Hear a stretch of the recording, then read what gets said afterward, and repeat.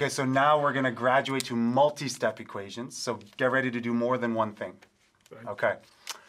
Can you think of the number such that you multiply by 11, take away 6 from that, and you would get 27?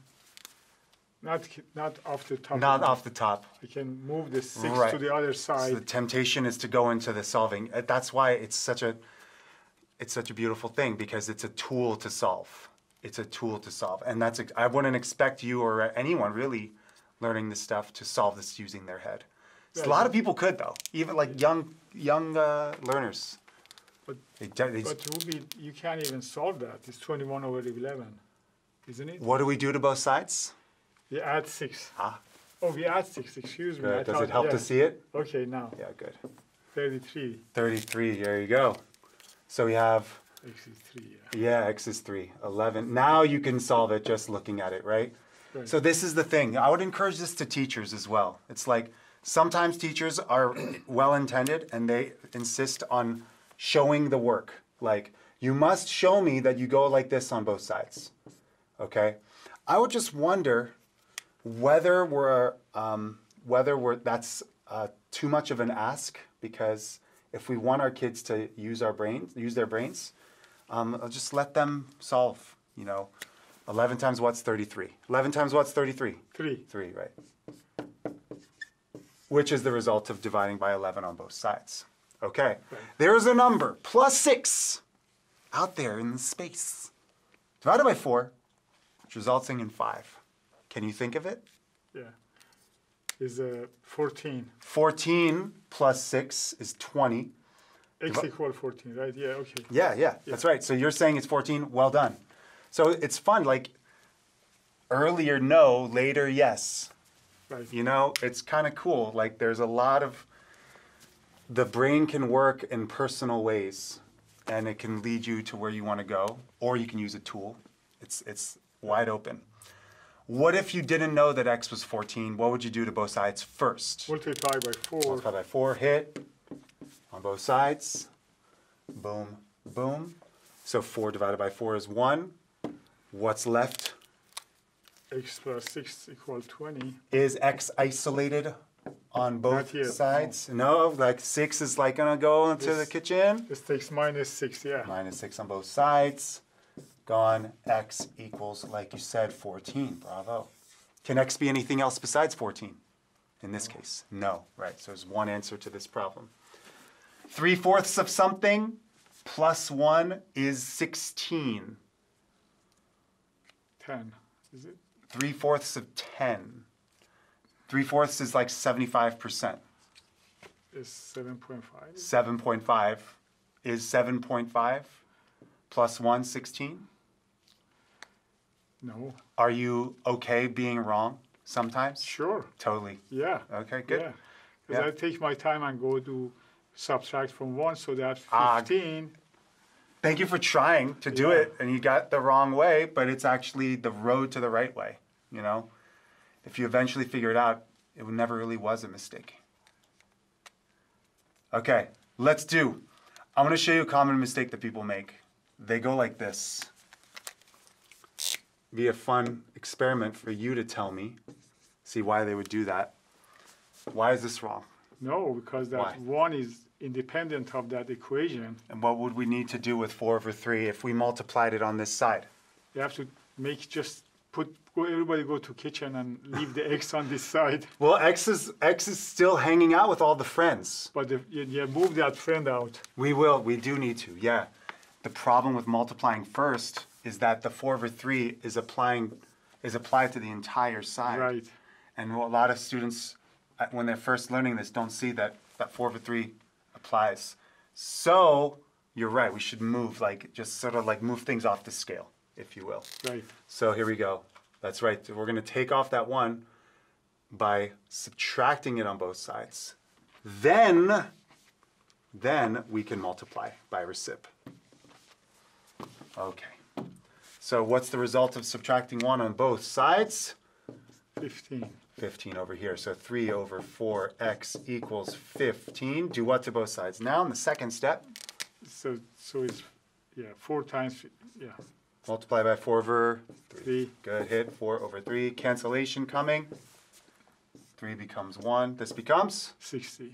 I mean, this become, you're multiplying by 4, right? before. That's not wrong to Really? multiply first. Can we cancel to simplify our lives? Sure. What's uh, 3 and 15? 3 into 15, how many Five. times? 5. So that's a common factor. 3 goes into itself once. 3 goes into 15 5 times. Now multiplying, we get 4, 20. 20. Right. 5 times 4 across over 1. Good job. You got gas in the tank? You good? Sure, You yeah, got yeah, energy? absolutely, right, yeah. Cool. Um, this is fun. I didn't want to say it, but I can't help it. um, four minus half of something is ten. What do you got? Means 6 is equal, uh, Four minus half of something is positive ten. Weird. so we Let's do just it. solve it. We do minus Let's all. four. Yeah. You're like, I want the answer. Oh, yes, okay. I thought you were trying to mess around with it in your head. It just as a fun challenge there. So right, just like before, we're not going to multiply by this reciprocal yet. right. to counteract the times, we're gonna subtract, move stuff to the other side. Get x by itself. So it's 12. So this becomes, oh, you're already there? Negative 1 half x equals 10 minus 4 is 6. Multiply both sides by what number? 2 over 1, or by 2. Yeah, by 2. Just 2. Yeah. Would you like to cancel the negative as well? You could do times negative 2. That would Yeah, be that would be one way to condense. Or we would come back and do that, Right. you know. But since we can, we're gonna do it times negative two on both sides. And so you're right, yeah, this all cancels, positive there, these go. So x equals, it turned out it was a negative number all along. All right, cool. Okay, so now we're gonna talk about consecutive, what does consecutive mean? One after another. One after another, right. So let's say just consecutive numbers, one after the other. If n was one of them, what would the next one be? n plus 1. That's right, n plus 1. So these numbers are one after the other. If you wanted to mess around, if this was like 5, inevitably this would have to be 6. Right. No matter what this was. And if this was 15, this would have to be 16 because it's 15 plus 1. So that's why it works every time. No flaws in the game, as they say. No flaws in the game.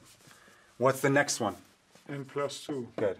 So what if I asked you for three consecutive integers that add up to 30? Three consecutive integers whose sum, that sum to 30. Now you could possibly do this in your mind you wanted to try mess around with it. 3, 3n plus 3. Uh, I'm, I'm not asking, to, I'm challenging you to not go to algebra right away. What do you think? Can you think of three numbers in a row that when you add them, it's 30? Like 1 plus 2 plus 3? Is that 30? no. No, it's too small. So but it has to be consecutive. Yes, yes. So we could say 9, 10, 11. 9, 10, 11. This is the kind of thing I'm encouraging people to do in addition to algebra. Uh-huh. because algebra is basically like let's solve some stuff but if you could solve some stuff then great algebra is sort of hanging back neutrally saying like all right i'm here if you need me Yeah. but yeah these three numbers add up to 30 you know you could even think like 10 10 10 Right, there's the logic. Yeah. You say 10 times 3 is 30, so let's take one off. Add one off yeah one off here and add it to there Right. right you could even think of it like visually this was 10 10 10 boom boom these are all 10 and then i take one off and make it 9 and i add it here and make it 11 and it's still 30 right that's kind of a fun way. Now let's do algebra. N plus. N plus 1, n plus 1 plus. N plus 2. n plus 2 three numbers in a row consecutive that add to 30 what is n plus n plus n 3n What is 1 plus 2? plus 3 Equals 30. Do what to both sides first? minus 3. Minus 3, hit. So we get 3n equals 30 minus 3 is 27. Divide by three. Divide by 3, n equals is nine. 9. Divide by 3, n equals 9. Lo and behold, there's that first answer. A lot of people um, need to learn that we're, the problem's not done because they say three consecutive numbers that sum to 30. What are they? I should have asked it. What are they? What are the three numbers? 9, right? 10 and 11. 9 plus 1, 9 plus 2. So those are the three numbers. And the saga continues. We could also check it, you know? Math is so beautiful in the sense that, like, when you type a history paper and you turn it in, you hope you got it right. Like, you hope, I hope the teacher gets what I'm saying. I hope that I understood the assignment. I hope, I hope, I hope. I hope I hit all the points on the on the rubric, like on the assignment. But with math, you know, do these three numbers add to 30? Yeah. Yeah. So it's, very like- objective. yeah, it's yeah. There's like a beauty to that. right. I kind of like the um, I I like the history paper thing too as well because you have to make your argument. That's cool. So I'm not saying that's bad. I'm just saying it's good to have both. You know, Right. it's it's a good thing to have. It's like a relief. You know, a lot of people that dread math, but you can just say like, wouldn't it be cool to take a test and know you got the problems right? That'd be so cool. So if you know that you got that right, let's talk about consecutive odd numbers. Okay, suppose n was odd. Okay, what would be the next odd number? One or three. Yeah. So give me an odd number. One, three. Oh, you want to do like one, three, Five. five? Give me a give me a number that's not odd. That uh, that's not one.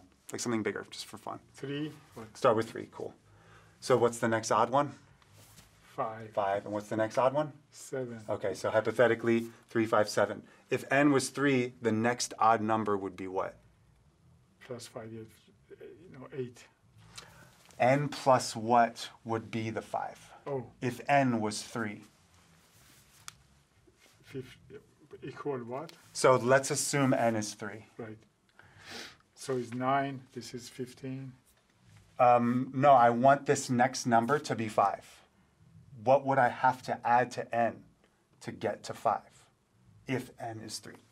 Excuse me. Two. Yeah. what would I have to add to n to get the second odd number? Two. Right? Um, oh, two plus no. uh, four, is it? Yeah. Four, yeah.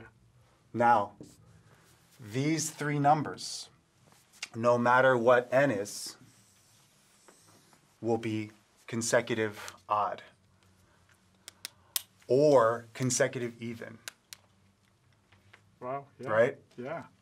It works every time. Like, Just me- because you're consecu- consecutive. consecutive odd Right. or consecutive even. Even, right. Yeah, like Right. if give me a number for n, any number that's odd. Just uh, three. Four. We did. Say five. Bigger. Get out of the tens. Oh, 11. Good.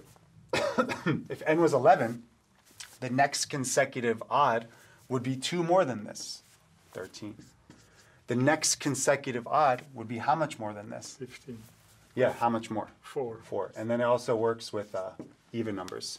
So this is the progression for even and odd. okay? Beautiful, Yeah, is that cool? Even and odd, consecutive. Okay, so the question would be three consecutive, what do you got? Three consecutive, I wrote a note to myself, even. Three consecutive even numbers that sum to negative 42.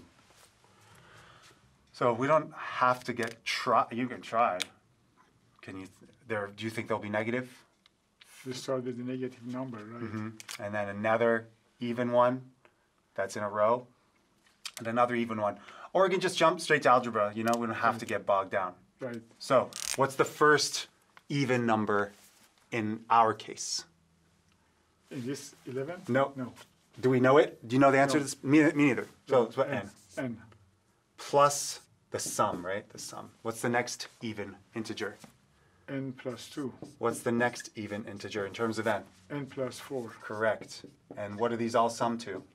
Minus 42. Minus 42, Jackie Robinson. Okay. n plus n plus n makes 3n. 3n. 2 plus 4 makes 6. Equals negative 42. To break down something that we're completely in the dark of before, now it's just coming out. Right. Do what to both sides? Minus 6. Minus 6, minus 6, minus 6 today. Gone. 3n equals, what's this? Negative 42, take away 6. Negative 48. Correct. Divide by 3. How many times does 3 go into 48? It's okay if you don't know. Is, is 18? No, 16. 16. 16, yeah. Yeah, it's cool. You're doing well. You're like remembering your math from back in the. Did you use this stuff as an engineer? Rarely. Really? really? It's awesome. That's interesting, huh? Yeah. Wow, that's cool. All right, let's try it. If 7x minus 3 is 52, what is 10x minus 2? Sometimes this is intimidating. What do you think we should do first? We should. Come and come and stand next to me. Minus 3 on both sides. So solve for x Right, is what solve you're for x. Solve for x and then do what with it? then divide by 7. Right, that's still solving for x. Why? Why solve for x? Because uh, if you know what x is, then we can solve the other one. Right, so if we get the x, we can apply it in here and get this result, exactly. So just having that vision at least gives us some purpose. Minus 3 both sides, like you said, before we divide. 7x equals 49. 49. How many times?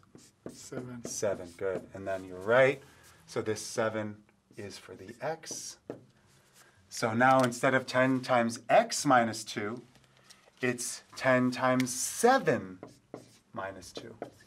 And this becomes, 68. right, 70 minus 2 is 68. Well done. Okay. One more round, man.